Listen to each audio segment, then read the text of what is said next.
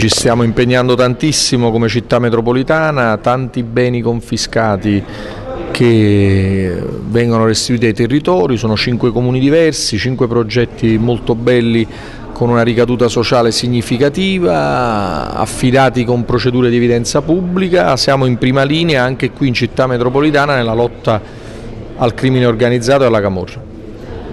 Signore, ha detto una cosa molto bella, portare la vita in luoghi di morte. Eh sì, sottrarre un bene confiscato alla Camurra ha un effetto enorme perché incidi sul profitto economico,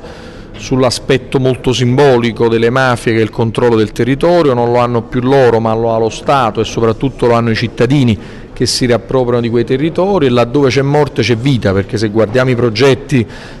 per i diversamente abili, eh, Alzheimer, eh, orti urbani, persone in difficoltà, è molto bello, è quello che stiamo facendo anche nella città di Napoli. Credo che abbiamo raggiunto il primato nel nostro territorio del maggior numero di beni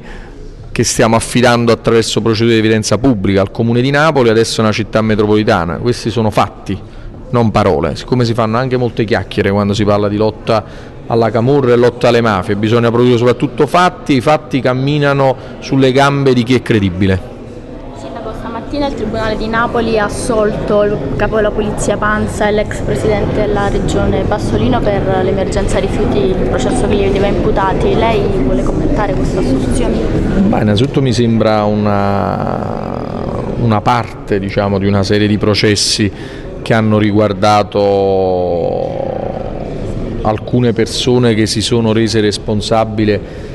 del più grave scempio che questa terra abbia mai avuto. Non commento in alcun modo questa sentenza, semplicemente a me come persona che ha ereditato quello scempio eh, mi interessa la verità giudiziaria ma mi interessa soprattutto fare in modo che mai più, mai più questi territori possano vivere quello scempio o vedere nuovamente i protagonisti di quello scempio che diventano protagonisti della vita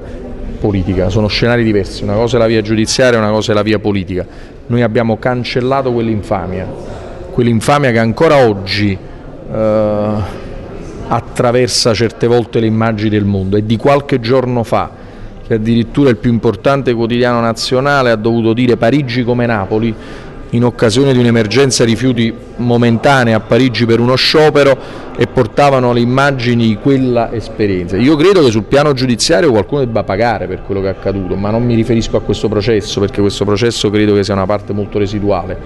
di quel tema lì. Spiace che insomma sul piano giudiziario in questi anni non si è fino in fondo trovato il responsabile e i responsabili di questa storia che è passata come terra dei fuochi, come emergenza rifiuti. Noi ne paghiamo ancora le conseguenze, ne paghiamo le conseguenze di immagine, ne paghiamo le conseguenze economiche, perché approfitto di questa domanda per ricordare a tutti che nella nostra bolletta ancora tutti noi come cittadini paghiamo l'irresponsabilità, l'incapacità e l'affarismo di chi in quegli anni ha imperato politicamente, economicamente e mafiosamente nei nostri territori quindi noi andiamo avanti e abbiamo dimostrato che cosa? Che l'emergenza rifiuti è finita, è finita con l'onestà, col coraggio, gettando fuori la camurra dal ciclo dei rifiuti e andiamo avanti anche qui in città metropolitana, lo stesso lavoro lo stiamo facendo con Sappana.